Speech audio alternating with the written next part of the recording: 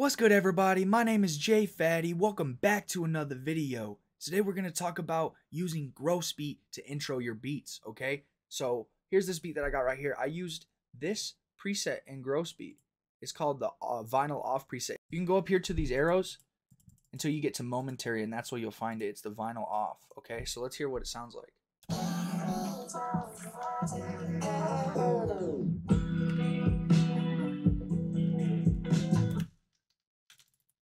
You hear that a lot in like trap ear beats. It's just like a vinyl being shut off, and that's what it sounds like. Okay.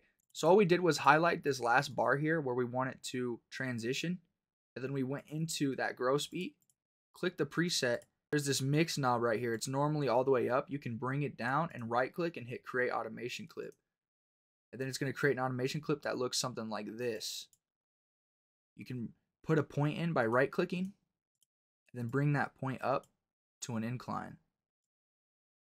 And then there's a, we scroll in here a little bit.